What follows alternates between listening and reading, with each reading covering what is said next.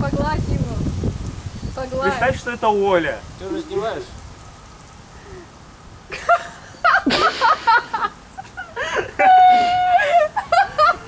За кадром вы.